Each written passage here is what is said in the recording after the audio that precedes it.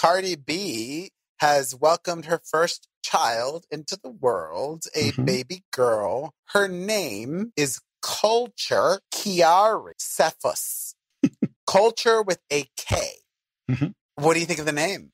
It sucks, but you know, if, if uh, that's the kind of name you want for your kid, good for you. I mean, I you know, you straight up said it sucks. It sucks. It's I, I would for me, I wouldn't name a kid culture. Culture Booker sounds stupid. I don't know. It just sounds like a wacky name to me, but there's wackier. I don't understand saddling a kid with a terrible name for the rest of their life. I don't get that. I wish she would have, even like if she would have flipped it and called her Cultura, that would have been cooler.